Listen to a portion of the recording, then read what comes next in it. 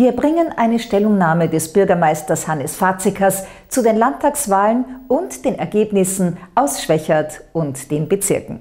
Der kürzeste Wahlkampf aller Zeiten ist geschlagen und dennoch war es eine große Schlacht. Ja, ich finde das durchaus positiv, dass man auch zu einem gemeinsamen Commitment kommt, einen Wahlkampf relativ kurz zu halten, denn man sollte sich ja äh, um die Arbeit das ganze Jahr kümmern und ein Wahlkampf ist schon eine sehr an die Substanz gehende Sache und es ist natürlich auch für viele in der Bevölkerung äh, manchmal nicht immer angenehm.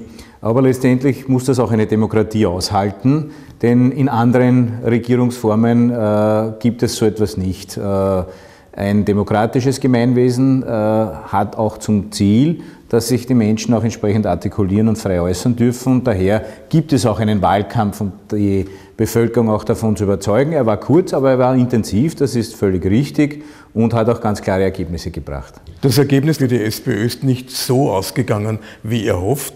Die ÖVP hat zwar knapp, aber doch die absolute Mehrheit erreicht und Spitzenkandidat Sepp Leitner hat mittlerweile seinen Rücktritt bekannt gegeben. Ja, es ist, äh, glaube ich, kein Hehl daraus zu machen, dass das für die Sozialdemokratie Niederösterreich sicher eine sehr bittere Stunde ist, weil wir davon ausgegangen sind, dass die Themen, äh, die die Bevölkerung oder die der Bevölkerung nahezubringen waren, Themen sind, die auch unter die Haut gehen. Es geht um sehr viele Aspekte. Es geht um Bildung, es geht um Kinderbetreuung, es geht um soziale Aspekte, um äh, Seniorenthemen in den einzelnen Gemeinden. Aber das ist so zur Kenntnis zu nehmen äh, und hat auch zu politischen Konsequenzen geführt, die ich persönlich auch bedauere, weil ich glaube, äh, auch ein Dr. Sepp Leitner äh, hat vor fünf Jahren nicht äh, den Weg gewählt, äh, die Partei so weit zu führen, dass er dann wieder sie verlassen muss, äh, sondern hat ganz andere Ziele auch ins Auge gefasst.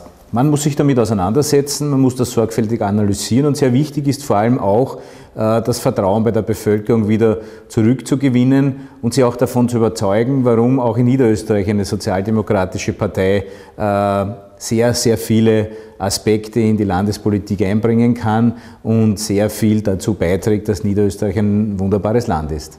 Das Landesergebnis zeigt einen Verlust für die SPÖ von äh, knapp vier Prozentpunkten, das Bezirksergebnis jedoch einen Verlust von knapp sechs Prozentpunkten und schwächert knapp 13 äh, Prozentpunkte. Sind die Schwächerter besonders politikverdrossen? Denn auch die Wahlbeteiligung war in der Stadt etwas niedriger. Die Wahlbeteiligung ist bei uns in Schwächert immer ein äh, wenig kritisch zu hinterfragen, äh, weil sie traditionellerweise nie so hoch ist wie in anderen Gemeinden. Wir haben mit 12,8 äh, Prozent äh, sicher ein nicht sehr freudiges Ergebnis, aber wir sind hier auch nicht unbedingt allein. Auch im Bezirk gibt es zweistellige Ergebnisse. Für mich ist aber wichtig, äh, auch zu erkennen, äh, wo die Ursachen liegen. Und daher ist das auch an der Wurzel äh, zu bekämpfen, vor allem auch hier wieder das Vertrauen für die Bevölkerung zurückzugewinnen und natürlich auch zu erkennen, warum ist dieses Wahlergebnis so. Im Speckgürtel von Wien gehen die Uhren auch ganz anders. Das hat auch die ÖVP erkannt, nichts, nicht umsonst auch einen großen Wahl Auftakt äh, mit dem Landeshauptmann hier in Schwächert auch gefeiert.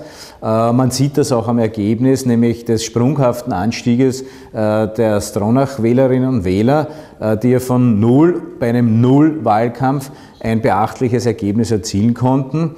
Und das ist natürlich eine Situation, die wir uns ganz genau ansehen werden und die auch dazu führen wird, dass man ganz bewusst wieder ganz gezielt jene Themen, die für die Landespolitik, und man muss das schon unterscheiden auch, es gibt bundespolitische Themen, es gibt kommunalpolitische Themen und es gibt landespolitische Themen. Und landespolitische Themen sind auch manchmal sehr eng verknüpft mit dem äh, kommunalen Wesen, wenn Sie jetzt an Wohnbauten denken, an Straßenbauten, Kinderbetreuungseinrichtungen auch. Hier muss wieder klar zum Ausdruck gebracht werden, dort wo sozialdemokratische Bürgermeisterinnen und Bürgermeister am Werken sind, dass sie auch die Unterstützung brauchen, dass sie hier in der Allmacht der ÖVP nicht untergehen und dass es manchmal auch äh, gar nicht so einfach ist, das auch so an die Bevölkerung zu bringen. Team Stronach ist in Schwächert mit 14 Prozent drittstärkste Partei geworden. Haben Sie einen derartigen Erstlingserfolg erwartet? Es war ja kein Geheimnis aufgrund auch von Umfragen und aufgrund äh, äh der Stimmung auch in der Bevölkerung, äh, dass äh, das Team Stronach äh, sicher einen doch beachtlichen Zugewinn haben wird. Aber dass das in so einer Dimension ist, ist natürlich überraschend, weil ich noch einmal feststellen muss, auch nicht vorhanden vor Ort, keine Themen zu den Menschen gebracht, kein Kandidat, der hier da ist, Stronach selber ja nicht für den Landtag zur Verfügung steht. Das heißt, hier wird jemand gewählt, der überhaupt nicht in die Politik geht. Also ist das schon beachtlich und interessant und wird sicher für die, äh, für die Meinungsforscher ein äh, interessantes Gebiet werden. Das waren gestern Landtagswahlen.